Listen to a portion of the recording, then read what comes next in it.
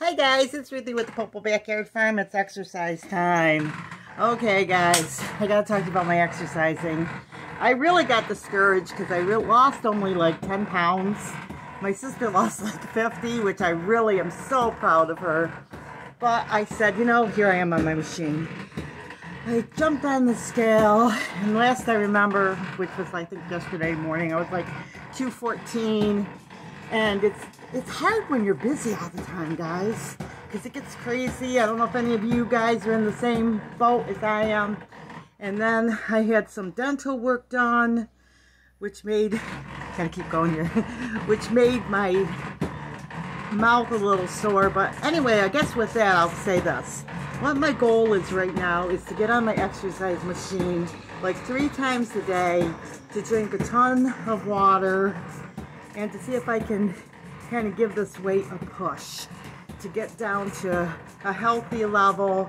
And not only that, but I want to not have any flab. I don't know if I got flab there, but I don't want to be flabby. I'm 58. I'll be 59 in October. So I want to keep getting healthier so that I can be healthy. And so I am working out. Some things are genetics, but my goal isn't to be on the exercise machine for hours and hours. What I want to do is catch five minutes here and five minutes there to start, to continue to do yard work, drink more water, try to eat more salads and stuff. Because of my dental work, I had to um, eat like breads and stuff because it hurt my mouth to eat. I had like acid reflux really bad and it just affected my teeth a lot, which it's only teeth, you know. But, uh, I mean, I want my teeth to look nice, but I want to be godly more than anything. So all I can do is brush and do the best you can and hope for the best. But I guess that's the point of this video is to say, wherever you are at, even if it's five minutes a day, let's get started together. Um, let's see what we can get down. Like this year, I only lost 10 pounds, and I was so discouraged by that. But you know what? I might lose more of it this year, which I want to. I think it's important to set goals and to get your weight down, but don't give up, I think is the main thing. I used to work for Weight Watchers. I used to work in the office. At that time, I only ever weighed probably 100 pounds soaking wet ever. But they hired me for the office. And so I learned a lot there.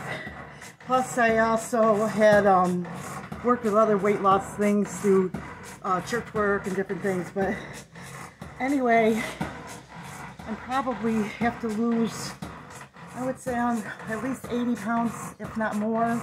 When I start feeling like I don't, you know, like, don't look healthy or it's not healthy, um, then I'll probably stop. I'm thinking right around 125 pounds, but depending, I might have to keep on more or might have to keep on less.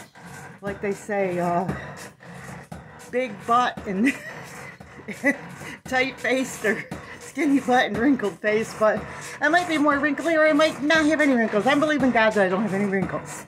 That God just helps me through that stage.